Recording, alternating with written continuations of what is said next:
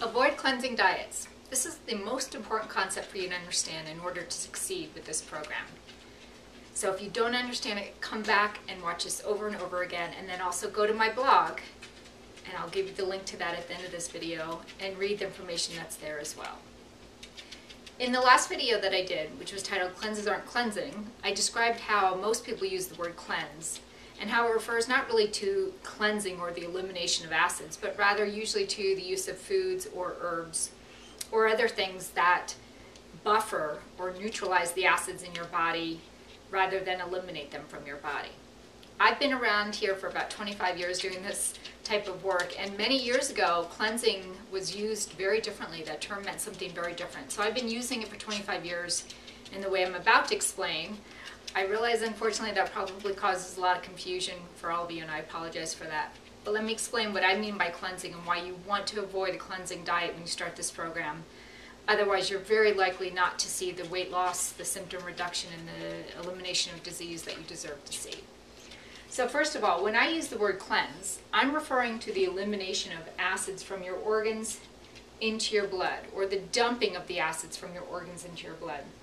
So remember, for your whole life, when your bowels haven't been good, the acids that haven't elim been eliminated from your bowel have gotten stored within your organs. Eventually, when we have no more space in the organs, we've got death. So that's not a good thing. But at the same time, if we eat foods, and there are certain foods that help dislodge these acids from the organs back into your blood, that causes problems. If these acids go from your organs into your blood, and then your bowel can't eliminate them. And if you're starting this program, there's no way you'll be able to eliminate them very well.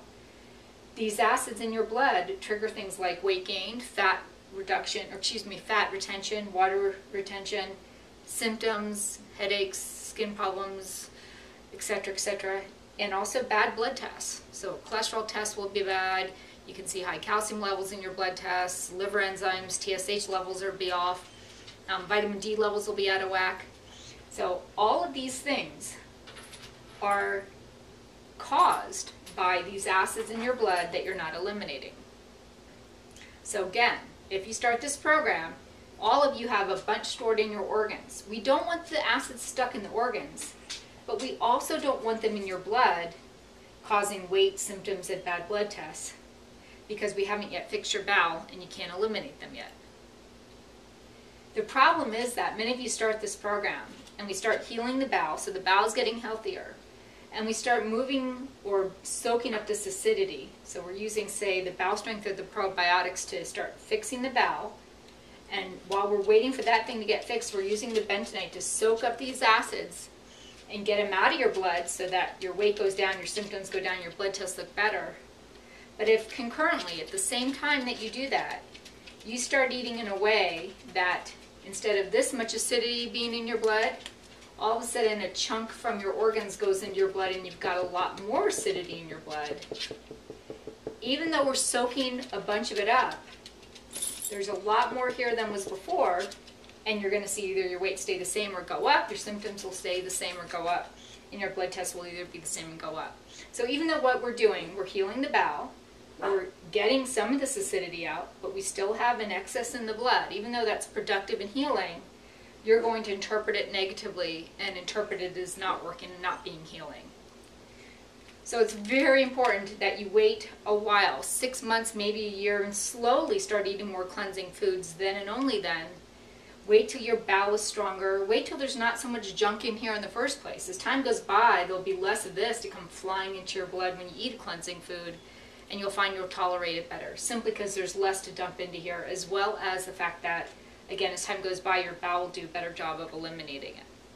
Now I've listed on my blog at www.thisworkscrutchesdon't.blogspot.com the list of cleansing foods. So go there, I'll put that at the end of the video, the link to that, and look at which foods are cleansing and just be careful. If you eat some of those now, that's no problem. Just don't eat more of them at the beginning of this program, or if you eat more of them throughout this program and your bowels don't do as good, you don't feel as good, maybe your weight's not going down as fast as you want, take a look at your diet and in 99% of the cases, what I do find is that someone is adding more cleansing, um, more cleansing foods into their diet. It's not because the bowel strength's too strong, it's not because the bentonite's not working, it's not because what we're doing isn't working, it's because they've just started dumping these acids into here. People will commonly say, but don't we want to cleanse? Don't we want to get the acids out of the organs? And I'll say it again, yes you do. Don't worry, that will happen as you heal your bowel and keep dumping them out with the bentonite. But you don't want them moving from here into the blood faster than you can eliminate them. They get into the bowel and you can't get rid of them. They're just back up here in your blood, causing your weight to go up, your symptoms to be bad, and your blood tests look bad. And you're not going to get that. You're going to think that what we're doing isn't helping or what we're doing is wrong. 99%, probably more, of the programs, the weight loss programs, the books, um, you know, the stuff that, whatever, most of the alternative practitioners are recommending is based on a non-cleansing diet, which by the way is kind of the same thing as a low carb, higher protein diet. What that low carb, higher protein diet does is just this. It stops these acids from moving into your blood. Keeps them all in here, which is not a very smart and safe thing to do, but without them dumping into your blood, you feel better, look better, blood tests look better, and you're very dangerously led to believe that what you're doing is really healthy for you. Five years later, when you have a heart attack, get diagnosed with cancer, and believe me, I see these clients all the time. Um, you know, it's shocking, it's surprising, and it's really disturbing because understandably, when you lost your weight and your symptoms went down and your blood tests looked better on those diets, you did wrongly think that um, what you were doing was actually good for you. So I hope that answers that. I will do many more videos on this concept, I'm sure. But for now, again, go to the blog and look at the cleansing foods. Be careful you don't add too many of those in.